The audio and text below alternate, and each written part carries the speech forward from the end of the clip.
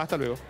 Y finalmente anoche el gobierno, por ahora de modo informal, informal eh, comunicó que habrá sesiones extraordinarias.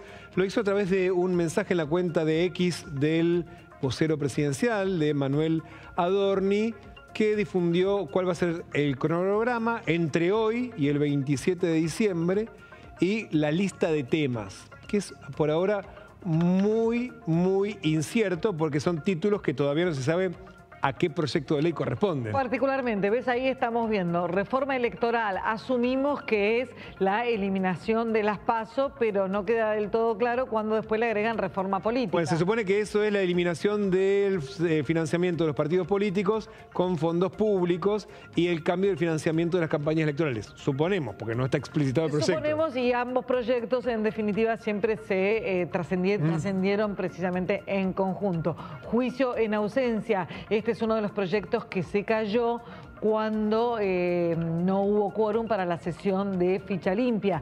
Se iba a tratar también ese proyecto de ley, obviamente no hubo sesión y sí quedó incluido entonces, o quedará incluido en, la, en el tratamiento para sesiones extraordinarias, no así ficha limpia, está clarísimo. Ley antimafia, este último proyecto que adquirió extrema urgencia tras el video conocido con las amenazas a Patricia Bullrich. Y... Este tiene un problema porque está, apoyado, está aprobado en la Cámara de Diputados con mucho trabajo que incluyó al presidente de la Comisión de Asuntos Constitucionales, Lograron el dictamen de comisión la semana pasada y necesitan de su voto, porque no le alcanzan, para aprobarlo en el recinto. Hay que ver en estas condiciones qué va a pasar con ese proyecto que ya fue aprobado en diputados. Las, ironías y las paradojas de la política argentina, a Cuader, a quien se, le, se lo indaga por enriquecimiento ilícito, por contrabando, etcétera, se, le se necesita su voto para aprobar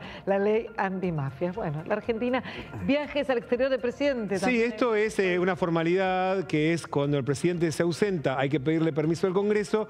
Eh, el presidente tiene una cita el viernes 13 en Italia con la presidenta del Consejo de Ministros de Italia que lo invitó y el 20 de enero ya dijo que quiere ir a la asunción de Donald Trump, así que tiene agenda internacional, es protocolar. Eh, y después hay otro punto que decía cambio de la ley de fueros.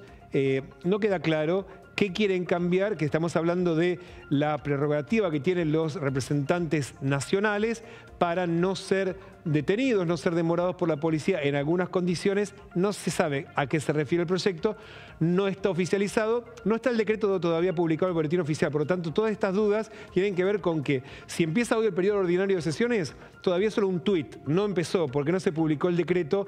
Si aparece a la tarde algún tipo de anexo del boletín oficial puede llegar a ser, todavía no está. Igual esa cantidad de proyectos acá, eventualmente hasta el 27 de diciembre, fiestas en el medio que caen además como caen las fiestas, que caen en miércoles, martes y mm. miércoles. Eh, bueno, un cronograma muy, muy ambicioso, habida cuenta de lo que ocurrió durante todo el año en el Congreso, cuando el principal proyecto de ley, eh, es verdad que era muy extenso, eh, llevó más de seis, de seis meses. Lo, lo más importante, el título en todo caso, eventualmente de este llamado a sesiones extraordinarias, es que no hay dos proyectos cada vez que tal vez sí ameritaban este, este llamado, que es, por un lado, ficha limpia, ya lo hemos hablado extensamente, y el presupuesto. Sí, claro, eso era lo único que le estaba importando a los gobernadores, eso quedó afuera. Quien sí